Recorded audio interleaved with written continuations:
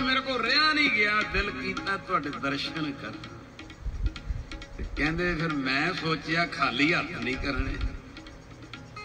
ਕੀ ਲੈ ਕੇ ਜਾਵਾਂ ਗੁਰੂ ਗੋਬਿੰਦ ਸਿੰਘ ਜੀ ਲਈ? ਕਹਿੰਦਾ ਜੀ, ਫਿਰ ਮੈਂ ਸੋਚਿਆ ਵੀ ਤੁਸੀਂ ਸ਼ਸਤਰਾਂ ਨੂੰ ਬਹੁਤ ਪਿਆਰ ਕਰਦੇ। ਸੁਣਿਓ। ਮੈਂ ਸੋਚਿਆ ਤੁਸੀਂ ਸ਼ਸਤਰਾਂ ਨੂੰ ਬਹੁਤ ਪਿਆਰ ਕਰਦੇ ਹੋ, ਸ਼ਸਤਰਾਂ ਦੇ ਸ਼ੌਕੀਨ ਹੋ। ਅੱਗੇ ਲਫ਼ਜ਼ ਲਿਖੇ ਸੂਰਜ ਪ੍ਰਕਾਸ਼ ਚ, ਮੈਂ ਸੋਚਿਆ, ਤੁਸੀਂ ਸ਼ਸਤਰਾਂ ਨੂੰ ਪਿਆਰ ਕਰਦੇ ਹੋ ਤੇ ਧਨੁਖ ਬਾਣ ਤੀਰ ਤੇ ਬਾਣ ਕਮਾਨ ਧਨੁਖ ਬਾਣ ਦੀ ਵਿਦਿਆ ਚ ਨਿਪੁੰਨ ਤੇ ਮੈਂ ਮੈਂ ਸੋਚਿਆ, ਇਹ ਹਮਾਯੂ ਪੰਛੀ ਦੇ ਖੰਭ ਲੈ ਕੇ ਜਾਵਾਂ। ਇਸ ਪੰਛੀ ਦੇ ਖੰਭ ਵਿੱਚ ਖਾਸੀਅਤ ਹੈ। ਬਾਣ ਦੇ ਨਾਲ ਇਹਦਾ ਖੰਭ ਬਨ ਕੇ ਚਲਾਈਏ, ਅਲੱਗ ਹੀ ਨਜ਼ਾਰਾ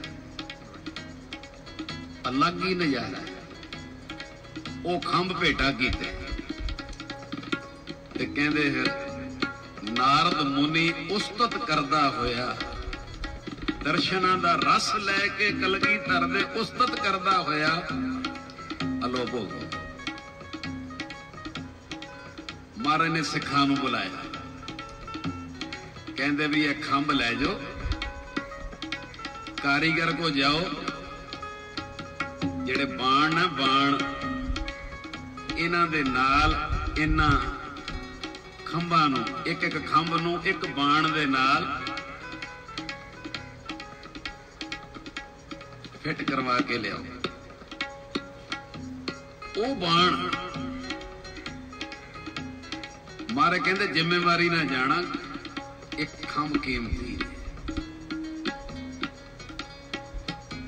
ਉਹ ਜਦੋਂ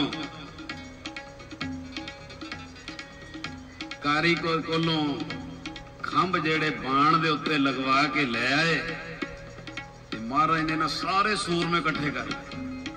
4-500 ਸੂਰਮਾ ਇਕੱਠਾ ਕਰ ਲਏ। ਮਹਾਰਾਜ ਨੇ ਜਦੋਂ ਉਹ ਬਾਣ ਸਾਧ ਸੰਗਤ ਜੀ ਤਨੁਖ ਤੇ ਚੜਾ ਕੇ ਤੇ ਮਾਰੇ ਕਹਿੰਦੇ ਅਸੀਂ ਹੁਣ ਬਾਣ ਚਲਾਉਣ ਲੱਗਿਆ, ਨਾਲ ਉਹ ਖੰਭੇ ਮਾਜੂ ਪੰਛੀ ਤੇ ਮਹਾਰਾਜ 5-600 ਸਿੱਖਾਂ ਨੂੰ ਕਹਿੰਦੇ ਆ, ਕਹਿੰਦੇ ਹੁਣ ਬਾਣ ਜਾਊਗਾ ਕਾਸ਼ ਵਿੱਚ, ਕਾਸ਼ ਵੱਲ ਜਿੱਥੇ ਡਿੱਗੇ ਲੈ ਕੇ ਆਉਣਾ। ਮਹਾਰਾਜ ਨੇ ਪਹਿਲਾ ਚਲਾਇਆ ਬਾਣ, ਦੂਜਾ ਖੰਭ ਵਾਲਾ ਤੀਜਾ ਬਾਣ ਉਹਨੂੰ ਇੱਕ ਖੰਭ ਲੱਗਿਆ ਹੋਇਆ। ਚੌਥਾ, ਜਦੋਂ ਇੰਜ ਜਿੰਨੇ ਕ ਖੰਭ ਸੀ ਮਹਾਰਾਜ ਨੇ ਬਾਣ ਚਲਾਏ ਤੇ ਹੁਣ ਸਿੱਖ ਵੇਖੀ ਜਾਂਦੇ ਬਾਣ ਵੱਲ। ਕੋਈ ਬਾਣ ਵਾਪਸ ਆਇਆ ਹੀ ਨਹੀਂ। ਧਿਆਨ ਦੇ ਕੋਈ ਬਾਣ ਵਾਪਸ ਆਇਆ ਨਹੀਂ ਤੇ ਸੂਰਜ ਪ੍ਰਕਾਸ਼ ਲਿਖਿਆ ਇੱਕ ਪੈਰ। ਇੱਕ ਪੈਰ ਹੁੰਦਾ 3 ਘੰਟੇ ਦਾ। ਕਹਿੰਦੇ 5-700 ਸਿੰਘ 3 ਘੰਟੇ ਖੜਾ ਰਿਹਾ। ਵੀ ਉਹ ਡਿੱਗਣ ਕਿਤੇ ਬਾਣ। ਜਦੋਂ ਨਾ ਡਿੱਗੇ ਤੇ ਉਹ ਕਹਿੰਦੇ, ਮਹਾਰਾਜ, ਆਕਾਸ਼ ਕੋਈ ਚੀਜ਼ ਤੇ ਖਲੋਂਦੀ ਨਹੀਂ। ਇਹ ਸਾਡੇ ਧਨੁੱਖ ਤੇ ਜਿਹੜਾ ਬਾਣ ਚੜਾਇਆ, ਮਹਾਰਾਜ ਬਾਣ ਕਿੱਧਰ ਗਏ? ਆਕਾਸ਼ ਤੇ ਖਾਲੀ ਹੈ। ਇਹ ਬਾਣ ਕਿੱਧਰ ਗਏ? ਤੇ ਮਹਾਰਾਜ ਪਤਾ ਕੀ ਕਹਿੰਦੇ? ਕਹਿੰਦੇ, ਇਹ ਪੰਛੀ ਇਹ ਹਮਾਯੂ। ਉਹਦੇ ਵੱਖਰਾ ਦੇਸ਼ ਹੈ ਇਹ ਉਹਦੇ ਖੰਭ ਨੇ।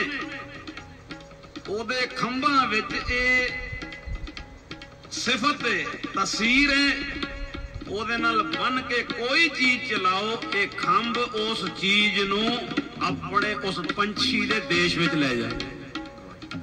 ਖੰਭਾਂ 'ਚ ਤਸਵੀਰ ਹੈ, ਤਾਕਤ ਹੈ, ਗੁਣ ਹੈ। ਉਹਦੇ ਨਾਲ ਕੋਈ ਚੀਜ਼ ਬੰਨ ਕੇ ਚਲਾਓ, ਉਹ ਖੰਭ ਆਪਣੇ ਉਸ ਹਮਾਯੂ ਪੰਛੀ ਦੇ ਦੇਸ਼ ਵਿੱਚ ਉਹ ਚੀਜ਼ ਨੂੰ ਲੈ ਜਾਂਦੇ ਆ।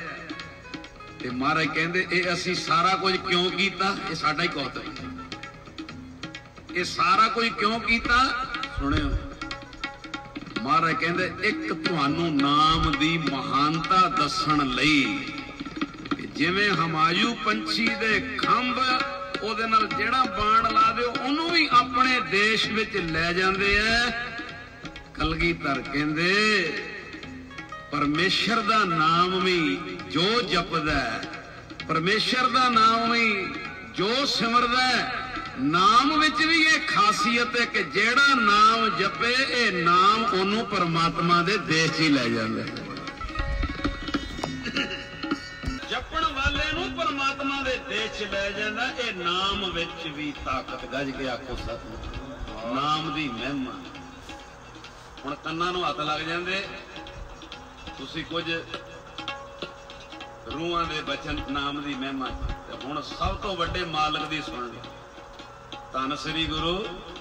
ਬੋਲੋ, ਧੰਨ ਸ੍ਰੀ ਗੁਰੂ।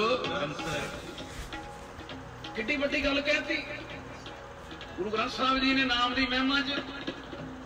ਉਹ ਕਿੰਨੀ ਵੱਡੀ ਗੱਲ ਏ।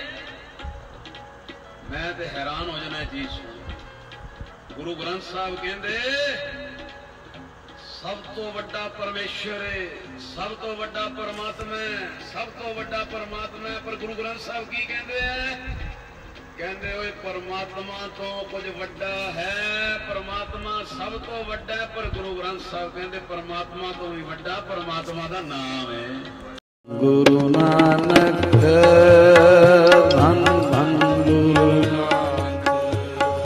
संगतम